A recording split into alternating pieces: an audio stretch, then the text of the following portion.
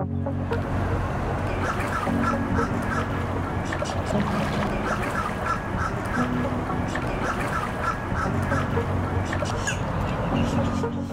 called the kayak guy because I moved in with a little blue travel kayak.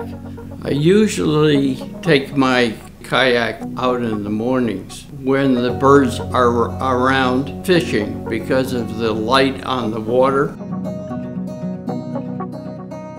I started visiting parks when I retired and made trips with my kayak and my bike. Well, I've always been a water guy. I came to Florida on my sailboat and uh, I've always enjoyed the water, not in it, on it.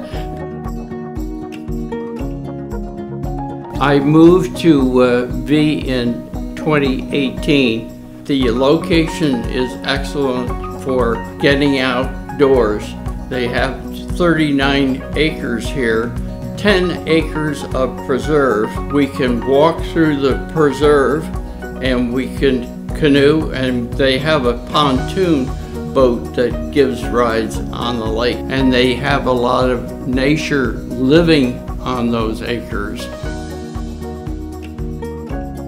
Outdoors is freedom. Lake Osborne, where Vi is located, so it's a large body of water and there's tons of birds. You get a, an appreciation of the outdoors and the animals that inhabit the earth. Uh, we have a large dock in Vi at Lakeside. Very excellent for watching the sunrise. The clouds form over the Gulf Stream in the nighttime and then they come to shore at sunrise and the sun hits the bottom of the clouds and lights them up.